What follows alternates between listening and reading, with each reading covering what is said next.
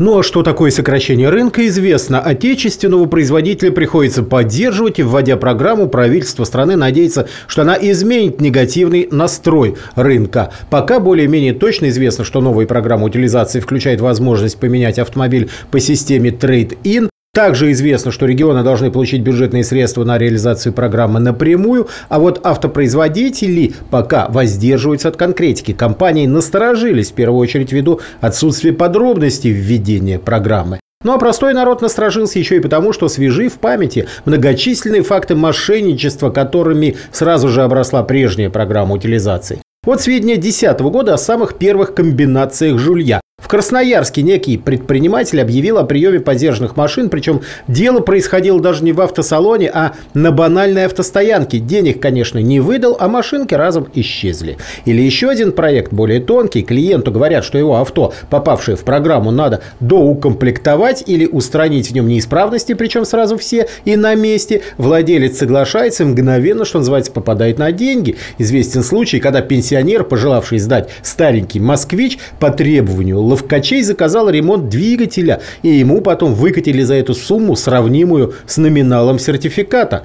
Но, наверное, самый масштабный случай мошенничества на фоне госпрограммы утилизации подержанных автомобилей произошел у нас в Рязани-Матушке и получил весьма широкий общественный резонанс и известность под названием «Дело автосалона Евразия». Один из дилерских центров в Рязани требовал с клиентов, сдающих автохлам, внесение полной предоплаты за будущую покупку. Однако при этом договор заключался на подставную фирму, которая в результате просто растворилась вместе с деньгами.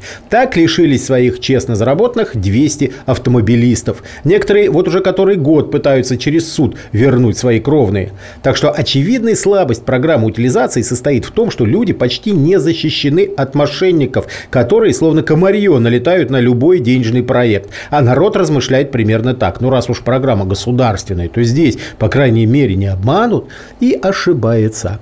Сегодня мы обзвонили нескольких рязанцев, попавшихся на крючок мошенников. Те, кому не удалось вернуть денежки, говорить с нами отказались, а горожане, отстоявшие свои средства спустя 4 года мытарств, предупреждают коллеги-автолюбители, будьте осторожны, ведь обманут и глазом не моргнут. Вот фрагмент телефонного разговора с Валерием, одним из обманутых вкладчиков по делу Евразии, который несколько лет выбивал через суд вложенные деньги. Того, чтобы э, решиться на этот э, путь, на этот вернее, э, шаг, да, надо определенно выяснить, с кем вы будете иметь дело, какие, допустим, вот посмотреть на это все дело. Я как в основном надо очень убедиться в том, что действительно вы не попадете в руки мошенников так легко и в общем просто. И еще о прошлой программе утилизации. Правоохранители выяснили, что сданные на утилизацию машины уничтожались далеко не все. Так, лишь в одном из округов Москвы, тогда еще милиция, обнаружила 50 легковушек, которые по документам давно должны были покинуть бренный автомир, а фактически использовались в качестве нелегальных такси.